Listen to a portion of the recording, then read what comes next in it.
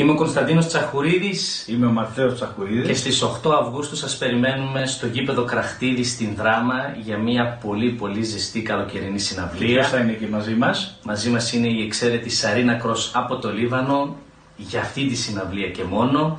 Τι όργανο θα φέρεις μαζί σου, Θα φέρω το λαούτο, το ρεμπάπ, θα φέρεις και την το πέρσικη τη λύρα. σαρό, θα φέρω και την πέρκη τη λύρα, αλλά το πιο σημαντικό είναι η δική σας παρουσία εκεί. 8 Αυγούστου λοιπόν, στη Δράμα, Στο γήπεδο Κραχτίδη καλή αντάμωση. Με την υποστήριξη του Ομίλου Σταρ Βορείου Ελλάδος.